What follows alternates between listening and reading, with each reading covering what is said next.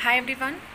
Today we are going to talk about our next topic which is visual pathway and it is a part of uh, special senses and this question is being asked uh, in 5 marks so it is important. So let's start. Visual pathway or it is called the optic pathway is a nervous pathway that transmits impulses from retina visual center in cerebral cortex. In binocular vision, the light rays from temporal half of visual field fall upon the nasal part of the corresponding retina. The rays from the nasal half of the visual field fall upon the temporal part of the retina. Visual receptors. Rods and cones which are present in the retina of eye from the visual uh, sorry form the visual receptors. Fibers from the visual receptor synapse with dendrites of bipolar cells of inner nuclear layer of the retina. Generally જે પાથવેની અંદર first second અને third neuron order neurons હોય છે એવી રીતે આની અંદર પણ will talk about the first order neurons first order neurons or primary neurons are bipolar cells in the retina axons from the bipolar cell synapse with dendrites of ganglionic cells. Second order neurons. Second order neurons are the ganglionic cell uh, in ganglionic cell layer of retina. Axons of the ganglionic cells form optic nerve. Optic nerve leaves the eye and terminates in lateral geniculate body. Third order neuron.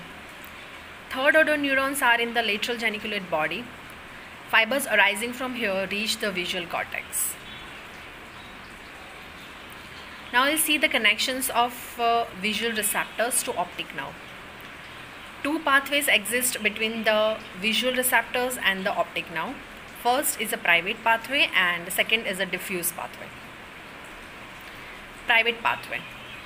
The individual cones in fovea centralis are connected to separate bipolar cells. Each bipolar cell is connected to separate ganglionic cell, namely midget ganglionic cell. This way, individu- individual cone is connected to an individual optic nerve fiber. This type of private pathway is responsible for visual acuity and intensity discrimination. Diffuse pathway. A number of cones and rods are connected with a polysynaptic bipolar cell. The bipolar cells are connected to diffused ganglionic cells. So there is a great overlapping and this type of pathway is present outside the fovea. Course of visual pathway. Visual pathway consists of six components optic nerve, optic chiasma, optic tract, lateral geniculate body, optic radiation, and visual cortex. Optic nerve. Optic nerve is formed by the axons of ganglionic cells. Optic nerve leaves the eye through optic disc. The fibers from temporal part of retina are lateral part of the nerve and carry the impulses from nasal half of the visual field of same eye. The fibers from nasal part of retina are in medial part of the nerve and carry the impulses from the temporal half of the visual field of same eye. Okay, fine. Uh, I'll show you the. Okay. Here you can see uh, this is the nasal part and this is the temporal part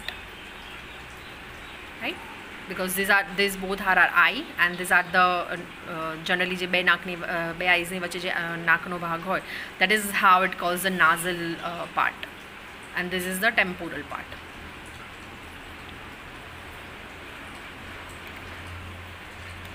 okay optic chiasma Medial fibers of each optic nerve cross the midline and join the uncrossed lateral fibers of optic side, sorry, opposite side, to form the optic tract. This area of crossing uh, of the optic nerve fiber is called the optic chiasma. So generally, optic chiasma matlab uh, the egg-shaped structure formed uh, at the point below the brain where the two optic nerves cross over each other. That is called the optic chiasma. Now you see the optic tract. Optic tract is formed by uncrossed fibers of optic nerve on the same side and crossed fibers of the optic nerve from the opposite side. All the fibers of optic tract run backward, outward and towards the cerebral peduncle. Which, uh, while reaching the peduncle, the fibers pass uh, between tuber, cinereum and anterior perforated substance. Then the fibers turn around the peduncle to reach the lateral geniculate body in thalamus. Here, many fibers synapse, while few fibers just pass through this and run towards superior colliculus in midbrain. Fibers from fovea do not enter superior colliculus. Some fibers from uh, fovea of each side pass through the optic tract of same side and others through the optic tract of opposite side. Due to the crossing of medial fibers in the optic chiasma, the left optic tract carries impulses from temporal part of left retina and nasal part of the right retina.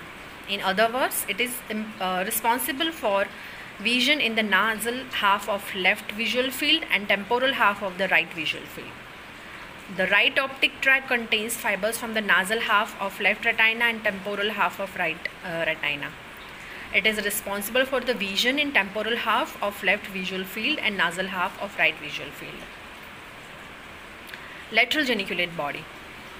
Majority of the fibers of optic tract terminate in lateral geniculate body, which forms a subcortical center for visual sensation. From here, the geniculo uh, calcarine tract or optic radiation arises. This tract is the last relay of visual pathway. Some of the fibers from optic tract do not synapse in lateral geniculate body but pass through it and terminate in one of the following centers. First would be the superior colliculus. It is concerned with the reflex movement of the eyeball and head in response to optic stimulus. Second is the pretectal nucleus. It is concerned with the light reflexes. And third is the supraoptic nucleus of hypothalamus and it is concerned with the retinal control of pituitary in animals but in human it does not play an important role. Now we'll see the optic radiation. Fibers from lateral geniculate body pass through internal capsule and form optic radiation. The fibers between lateral geniculate body and visual cortex are also called the geniculocalcarine fibers. Optic radiation ends in visual cortex. Visual cortex. Primary cortical center for uh, vision is called the visual cortex, which is located on the medial surface of optical, uh, sorry, occipital lobe. It forms the walls and lip of calcarine fissure in medial surface of the occipital lobe. There is a definite localiz uh, localization of retinal projections upon visual cortex. In fact, the point-to-point -point projection of retina upon visual cortex is well established. The peripheral retinal present, uh, representation occupies the anterior part of the visual cortex. Macular representation occupies the posterior part of visual cortex near occipital pole. Areas of visual cortex and their function. Three areas are present in visual cortex. First is the primary visual area which is the area 17 which is concerned with the perception of visual impulses Second is the secondary visual area or visual uh, association area which is area number 18 which is concerned with the interpretation of visual impulses and the third is the occipital eye field which is the area of uh, which is the area 19 and uh, it is concerned with the movement of eyes. So in this figure we can see the visual pathway. This is the left visual field and this is the right visual field because there is a left eye and this is a right eye. There is a temporal part and this is a nasal part. This is the optic nerve. Then there is the optic chiasma optic tract lateral geniculate body superior colliculus optic uh, radiation and then there is a visual cortex. So this was all about the visual pathway. So you have to write down first, second, third neurons. Then the connection of visual receptor of optic nerve, private and diff, uh, diffuse pathway.